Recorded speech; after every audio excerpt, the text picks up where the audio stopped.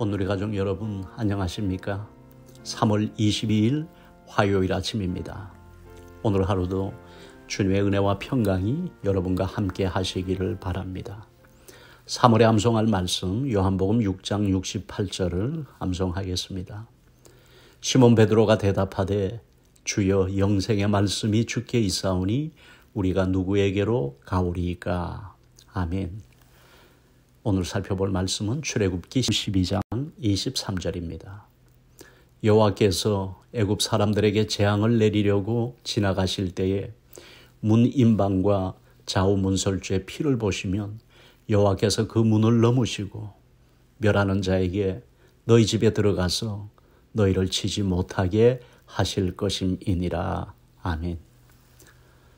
하나님은 애굽에 내릴 열 번째 재앙, 즉 마지막 재앙에 대해서는 분명한 지침을 주셨습니다. 유대력으로 정월 14일 저녁에 하나님께서 애굽을 치시면은 애굽의 모든 장자들 지휘고와 빈부 기천을 막론하고 모든 장자가 죽음을 당하는 무서운 재앙이 임하게 됩니다. 그러나 이스라엘 백성들에게는 이 재앙을 피할 수 있는 길을 주셨습니다. 흠 없는 일련된 어린 양을 잡아서 그 피를 문 임방과 좌우 문설주에 뿌리면 재앙을 피할 수 있다고 말씀하셨습니다. 하나님의 사자가 그 피를 보면 넘어갈 것이기 때문에 아침까지 한 사람도 집 밖으로 나오지 말라고 하셨습니다. 이것이 6월절인데 이스라엘 달력의 시작점이 되었고 이스라엘 민족이 가장 중요하게 지키는 절기가 되었습니다. 그날 이후로 이스라엘 백성들은 매년 6월절을 지킵니다. 6월절 어린 양은 예수 그리스도의 상징입니다.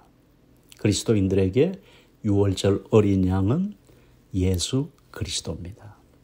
고린도전서 5장 7절에 보면 우리의 6월절 양 곧 그리스도께서 희생되셨느니라 라고 말씀합니다. 6월절 이야기를 통해서 하나님께서 우리에게 주시는 몇 가지 진리가 있습니다. 그것은 첫째, 심판자와 구원자가 같은 분이라는 겁니다. 하나님께서 애굽의 장자를 치시고 애굽을 심판하셨지만 동시에 이스라엘 백성들은 보호해 주셨습니다. 구원해 주셨습니다. 하나님의 말씀에 순종하여 어린 양의 피를 문설주와 인방에 바른 이스라엘 백성들의 가정은 죽음의 사자가 넘어간 것입니다. 하나님께서 심판하시는 날에 또한 하나님께서 말씀대로 순종한 이스라엘 백성들은 구원하셨습니다. 심판자와 구원자가 동일한 하나님이십니다. 어떤 사람들은 말하기를 성부 하나님은 심판하는 분이고 성자 예수님은 구원하는 분이라고 말합니다. 그렇게 말하는 자들은 이단들입니다.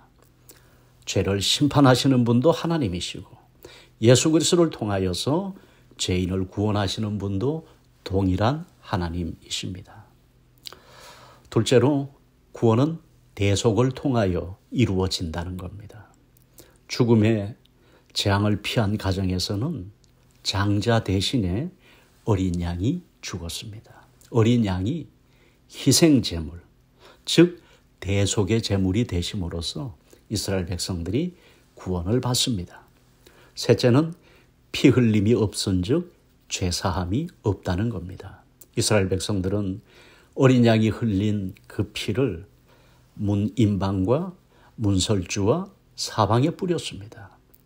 하나님의 사자는 다른 것이 아니고 그 피를 보고 그 가정을 구원하신 겁니다. 그래서 피 흘림이 없은즉 죄 사함이 없습니다. 넷째는 그렇게 구원받은 가정은 이제 하나님의 소유가 되었다는 겁니다.